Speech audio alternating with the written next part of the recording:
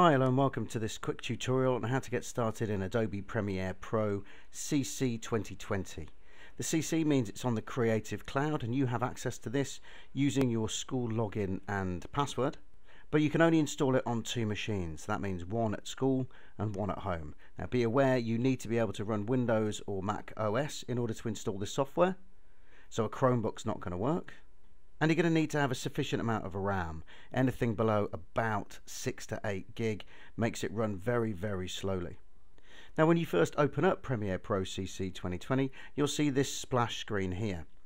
And what's great about this screen is because you're always going to be working on the same PC, you'll be able to come down here to your recent files and simply click on whichever project you want to open and it will do all of the hard work for you. The reason you'll always be on the same PC is because when we edit at school, we can't edit across the network. It's just too slow. The file rate for video transfer needs to be much, much higher. So you're actually going to be saving your video files directly to the hard drive of the computer that you're working on. The result of this is you have to work on the same computer every time, otherwise you won't be able to find your project. As we're using Premiere for the first time, we're going to come up here to the New Project button and we're just going to press there and what you'll get is this additional splash screen with lots of complicated looking information on it. All you need to do is give it a name, make sure that it's in the right location, which for you will be on the W drive, and then as this is a beginner's guide, we're going to ignore everything else and just hit OK. You'll notice when Premiere Pro opens, it looks very similar to Photoshop, and there are a lot of crossover similarities. For example, we have different panels which we can click into and they serve different functions. But also, just like Adobe Photoshop, when you're beginning, a lot of this you don't need. So I'm going to introduce you to the key areas and show you how to get video files into your projects and how to get up and running with editing. But then it's going to be up to you to remember all of your video editing techniques and to use those to create exciting and compelling video content. So the best place to start is over here in the media browser. The media browser enables you to simply browse to wherever you have saved your video files and then to select the files from there. Now there is a much easier way of doing it so I'm going to show you that way. If you go back into your project tab so you'll notice across here we can press these little arrows and it allows us to choose any of the panels that are hidden in here just like on the right hand side when we're using Photoshop. But what we're going to do is we're going to use the drag and drop function to make life a lot easier for us. So over here, I've got a browser window that's uh, set up the way that I generally set up simple editing projects. The captures folder is where I save my screenshots. The graphics folder is where I save any graphics that I might have created. My music and sound effects go in another folder. And then all of my rushes, or the shots from my camera, go into the rushes folder. That way it leaves the outside nice and clear for Adobe Premiere to create lots of different files that I'm not going to be messing around with and they're not going to get in the way stopping me from seeing where my shots are. So if I simply go into the rushes folder you'll see that we've actually got these five items which should be in your tutorial folder at school on the box and you'll be able to just simply select them all, drag them and drop them into Premiere and now we can close this. Actually before we go anywhere let's go into our music and sound effects and we'll grab some music. And then finally we'll go into our graphics folder and we'll just grab this video file as well. Now the reason I've grabbed these files is because Premiere handles different types of files slightly differently. And you'll notice here where I've got video with sound that's what these two icons mean Premiere is going to make all of those clips blue where I've got just video with no sound, it's going to make them violet. And where I've got just sound with no video, it's going to make them green. What does that mean? Well, quite simply, when we're editing on our timeline, it uses these different colors to help us sort through all of those files. Now we've got all of our project files dragged in here, we're going to quickly walk through the interface. So, down in the bottom center here is our timeline. This is where we build our sequences. So we'll come back to this one. This one's very important. Up here is where we can view the video files that are playing in our timeline. And over on this side is where we can look at our source clips, the ones that are in here that we're going to pull from, or where we can add our effects or to mix our audio. Now we can't see anything in here yet because we haven't actually started our project up fully. But it is important to note if when you do load up, this looks completely different because, for example, someone's undocked a panel. You can, just like we do in Photoshop, go back into Window, Workspace, and reset your workspace to the saved layout. So now we've got all of our files in our clip bin and we're ready to edit, what we would normally do is come over to File, New, Sequence, and set all of our settings so that we can edit our video. But what if we don't know what our frame rate is? What if we don't know what our frame size is? And what if we don't know what our audio sample rate is? Well, actually, the new CC version of Premiere makes life a lot easier because we can cancel out of this. And if we've shot all of our clips on the same camera, we can simply click it, drag it, and drop it into a blank timeline and it will create the sequence for us and we'll base it on the frame rate and frame size of the clip we've used. So if I show the clip properties, you'll see that we actually find out exactly what our frame rates are and it means that we're not going to get any frame jitter or any other unexpected surprises once we start editing our video. So let's quickly talk about the timeline box. Essentially, this is where all the hard work happens. As we add clips by dragging and dropping them in, they create a timeline or a sequence of shots. If we click at the top, and you can hear me scrub along here, you'll hear the audio and you'll see the shots moving in the top right hand side, which is our monitor. We could simply zoom out using this bar here and continue to add all of our shots, one after another, until we reach the end of our sequence and we are done. But editing's a little bit more involved than that. We might want to adjust the duration of some of these shots, and there are many different ways of doing that. For a start, we can zoom in, and you see when I hover over a clip at the edge of it, I can get a bracket that either goes to the left or to the right. The left bracket enables us to click and drag to shorten a clip, the right bracket allows us to do the same on the other side. Now you'll notice that there is no icon at the end of this clip here, but when I drag it to its full stretch, you'll see you get a little sort of grey area on the side that tells you there is no more of that clip available. That's significant because if we want to add a mix, we need to make sure that we are slightly further back so there is some shot left to mix the two together. Now, as I showed you with Photoshop, there are always keyboard shortcuts, and the way that we zoom in and out, instead of using the bar down here at the bottom, we can simply use the plus and minus keys. Minus will zoom out, plus will zoom in, and on by the left shift key, the backslash, will enable you to show the entire timeline. And that enables you to toggle where you were and the full timeline. It just jumps back in and out.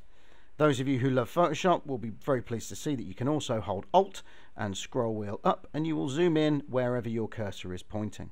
Why might you want to zoom in? Well, it helps us when we're working on our audio tracks and also if we make this slightly bigger you'll see that when we scroll along our video track we actually get a little thumbnail showing us which clip we are looking at, which makes life a lot easier. If at any point you end up with gaps in your timeline like this and you simply want to remove them by moving everything down, you can click to select the area in between, right click and say ripple delete and that will move everything down on your timeline. But be aware that, let's just undo here, if we have different clips on different areas of the timeline, let me just drag the audio down onto a different channel so we can overlap these two clips. When I remove this with a ripple delete, it can cause parts of our timeline further down to go out of sync. So if you don't want to use the ripple delete, you can simply use the select tool, which is the V, same as the move tool in Photoshop. Select all of those clips and slide them down yourself. Make sure when you're editing not to leave any black gaps because that will appear as a flash. So when I show you here, you'll see a little flicker Hello. of black. So you need to make sure that you get rid of all of those tiny little gaps, otherwise you're going to get flickers of black here and there. So we've just quickly looked at how we can drag clips onto the timeline, how we can shorten those clips, how we can drag them around. We can even change the order of them. We can right click to ripple delete and we can overlap video layers showing us, just like in Photoshop, whichever clip is on the top is the one we see as opposed to the one underneath. And this kind of video editing would be absolutely fine and you could leave it there. But if you want to advance your skills ever so slightly, let me just quickly show you patching in from a source monitor. So if we double click on one of our shots, it'll load on the left hand side in our source monitor. What we do then is mark where we want our clip to start with the mark in button, move along the timeline, mark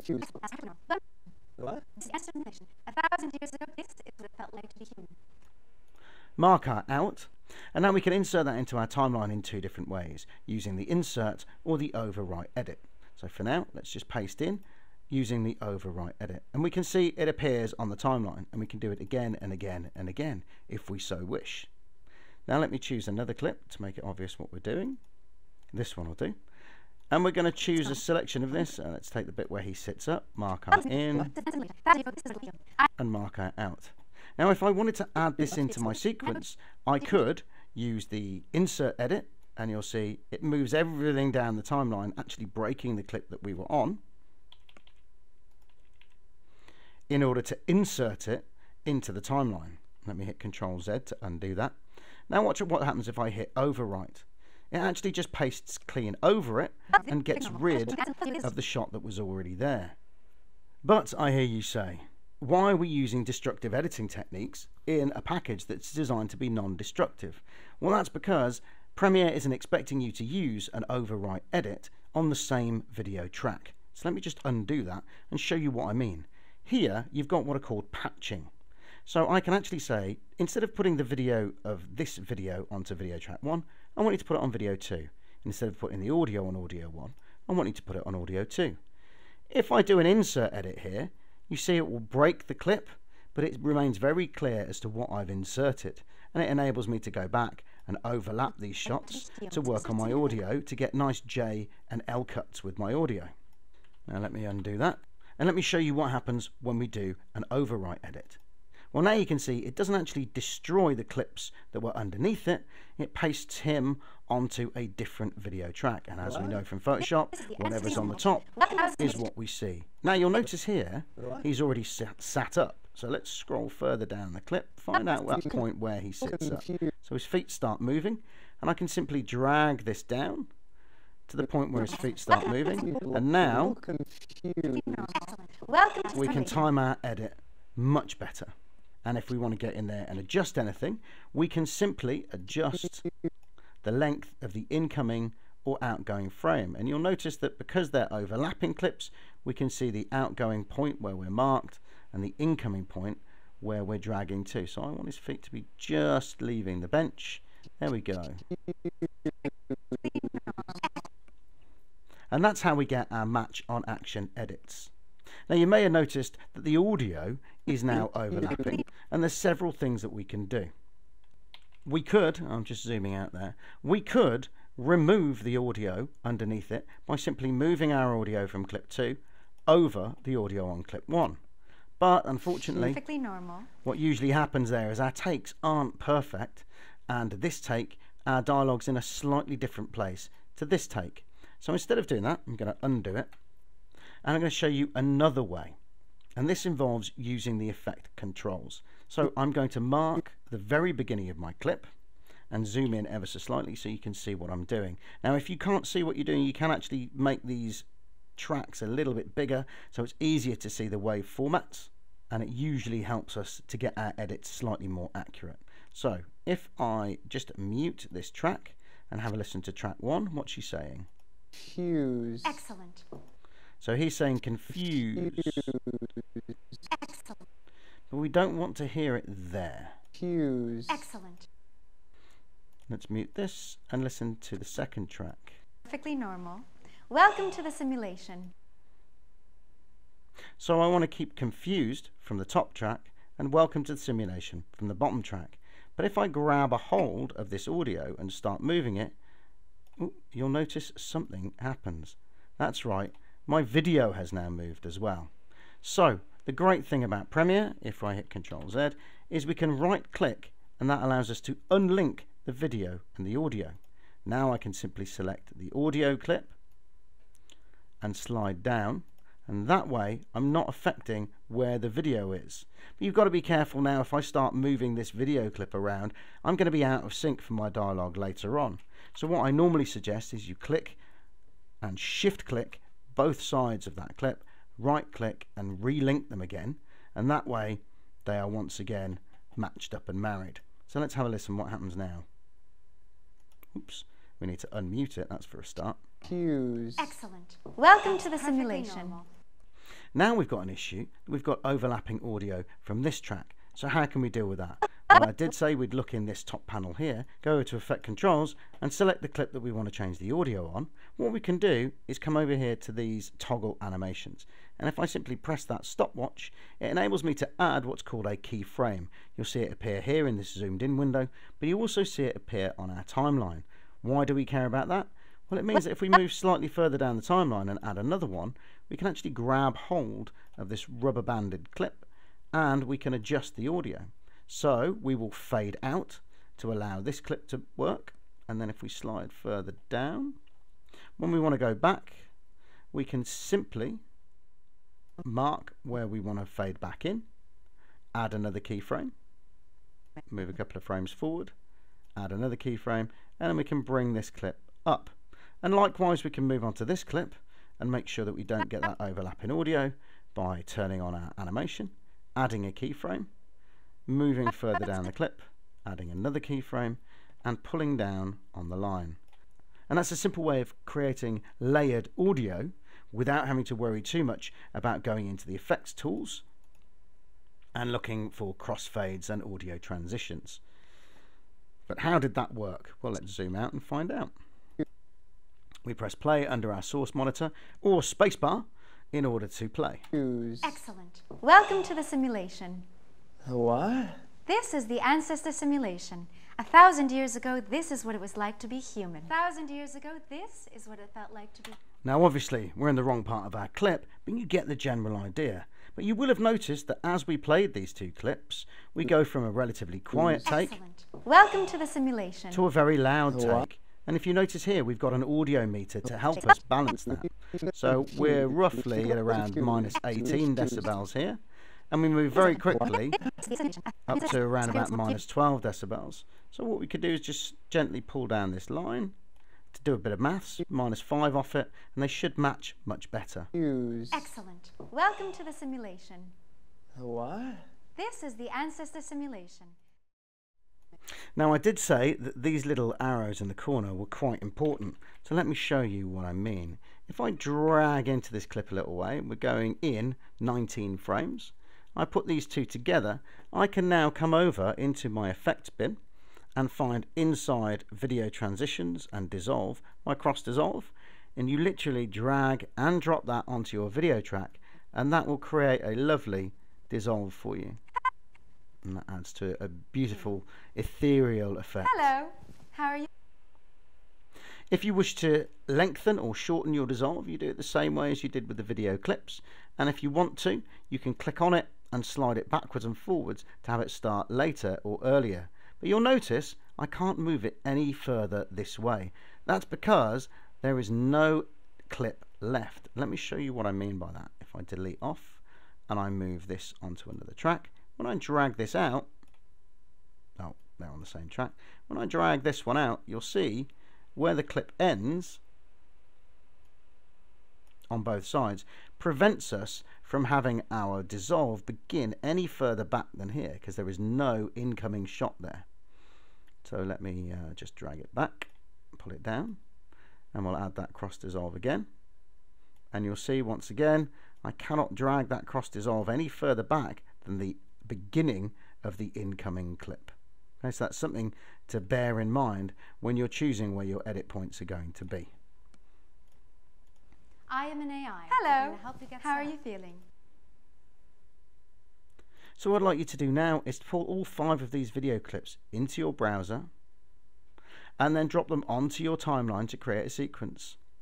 And then see if you can edit this sequence so it makes sense using multiple layered video, layering your audio, and also remembering that you can unlink using right click in order to move around your audio and your video tracks independently. But don't forget to shift and click to link them back together again so you don't accidentally knock them out of sync. Now you might have noticed on some of these clips we've got this little green dot That's simply a marker which I added by mistake, which I've only just noticed. And we can put those simply by selecting the clip that we want to put them on and pressing M. It enables us to find areas of the clip much, much more quickly. And in order to remove them, you just press M to bring up the menu and you can press delete. So again, park on this one, M to bring up the menu, press delete. Oh, I missed it. Park on the mark, M to bring up the menu and press delete. And you'll notice that because that clip had been repeated many times, the mark stays on all of the clips in exactly the same place.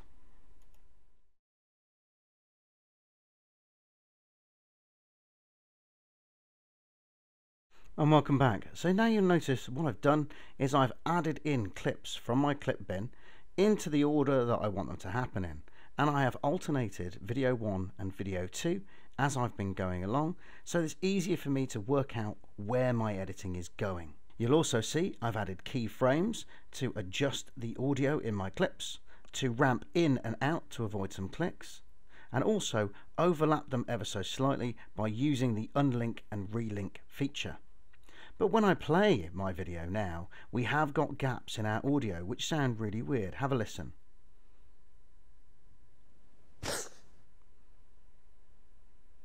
Hello! How are you feeling? A little confused. Excellent. That's perfectly normal. So what we can do to smooth out those gaps is to bring in some MP3 music. So I'm simply going to drag and drop that onto audio track 3. And we can edit that audio in exactly the same way as we can video clips. But one of the additional tools we haven't looked at, which makes which makes life a lot easier, is if we zoom in and we, for example, want to loop a part of our audio, we can actually come over to the toolbar here, choose our razor tool, which enables us to chop small sections out, but also it enables us to loop and reuse certain parts of our music. Let me just undo that and zoom all the way out.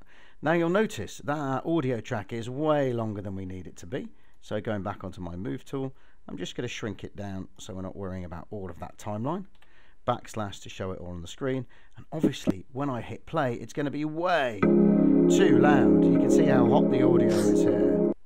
So what do we do? Well, we could come in and individually add all of these key points, but there is one more panel we're going to look at, which is over here, and it is the audio track mixer. Now, if we have audio on an entire track that we want to adjust in one go, we can actually come over here and you can see audio 3 is here. I'm actually going to rename that. I'm going to call it my music track. And you'll see that it actually changes down here on the timeline as well. And I'm just going to grab this slider and move it down. And that should bring down the overall volume. And as we listen, still too loud. Bring it down a bit further. Hello! How are you adjust feeling? this on the move. A little confused. Excellent. That's perfectly normal. Welcome to the simulation. The what? The ancestor simulation. A thousand years ago, this is what it felt like And just before we go, there's one more thing I want to show you, which is completely different to the way things used to work in Premiere CS. CC is totally upgraded the way you do titles. So it used to be that you would need to come into your clip bin, create a caption, and then use a separate interface in order to edit your captions and to overlay them onto your video clips. But it is much, much, much simpler now. In fact, all you need to do is look for the area that you want to stick your caption on and then over here in your toolbar, look at that type tool. We just click on the type tool. Wherever it is on your clip that you want to type, you just click. And, and hey presto, we have now added onto our video 2 track this title, which we can actually grab hold of, make bigger, make smaller, move it around, and get it exactly where we want it. Now obviously we don't want it to cut straight on, or cut straight off. We want it to be nicely fading in and out. So we would drop into our effects, go into our video transitions, dissolve, cross dissolve, and I'm going to throw one at the beginning and one at the end. And then when we press play now, our caption will fade up and then fade out. Hello! Easy peasy. Now, the problem is, if you don't want to use that font, we do need to jump up into our effect controls panel. So you can double click on that to make sure that you have it selected and then go over into effect controls. And you'll notice that up here we actually have a text and it tells me what the text says, the Garden of Eden. And I can flip this down and down the rabbit hole we can go. Quite simply, we can change the font. Well, that's highly inappropriate, but I think we'll just go with Zombie Slayer just for a bit of fun. We can move that caption back in slightly. And then we can also change the colour by clicking on fill and let's make that red. Let's make it super scary. The Garden of Eden. And as you scroll down you'll see that we can add things like bold italics and additional information about rotation. So we can make it rotate ever so slightly. Ooh. possibly not ideal that way up. There we go. The Garden of Eden and we can also adjust the opacity which means it'd be slightly fainter as in we can see through it ever so slightly let's see what effect that has now, you probably noticed that it looks very, very blurry. That's because we've set to one quarter resolution to preview. So let's switch it back to full fat. And now we can see it in all of its horrific glory. Hello! How are you feeling? A little confused. Now there is one more thing now we're inside the effects control and effect panel that I wanted to show you earlier but I forgot. So on this shot here where he's talking, I don't want to be quite so wide here, but unfortunately I shot it in a fairly wide shot. What can I do? Well, if we select that clip and we come over and we look at motion, we've actually got a scale icon as well. And we can click to drag and we can zoom in ever so slightly on that clip. And we can also grab hold of the position to move it around. Now, you've got to be careful. Once you get more than a certain distance in, it is really obvious that we're zoomed in on it because it is essentially a digital zoom and it does look a little bit clunky and horrible. But at a pinch, it enables us to adjust our shots in post-production. So let's have a look at that. Hello! How are you feeling? A little confused. Excellent. That's perfectly normal. Welcome to the simulation. The what? So hopefully this tutorial has given you a brief insight into how to get things started, how to put information onto the timeline, how to make sure the timeline's at the right settings by simply dragging and dropping your clips in, how to preview things in your source monitor, how to review things in your program monitor, how to lay your clips on alternating tracks to make your editing more seamless and to encourage you to be using these J and L cuts to overlap your video and to create a much more professional and advanced editing technique. And also how to add some basic simple effects and to adjust them using your effect controls. So for the rest of the lesson, I'd like you to continue with your Garden of Eden edit and see if you can create a finished sequence. Hint, if you've got it right, it should be almost exactly 60 seconds long. So explore, experiment, and above all, have fun.